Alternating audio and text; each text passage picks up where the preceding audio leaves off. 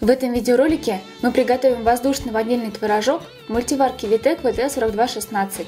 Для этого нам потребуется 3 литра кефира жирностью 3,2%, 3 столовые ложки сахара и ванилин на кончике ложки. Кефир налить в чашу мультиварки, закрыть крышкой, включить режим творог на 5 часов. Когда режим окончится, сыворотка отделится от творожной массы. Перелить массу на дуршлаг и оставить для стекания на 4-5 часов.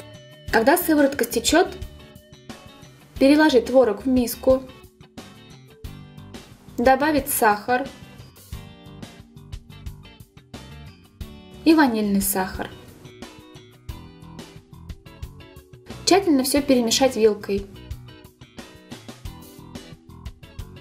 Воздушный ванильный творожок готов. Приятного аппетита! Витек. Здоровый взгляд на технику.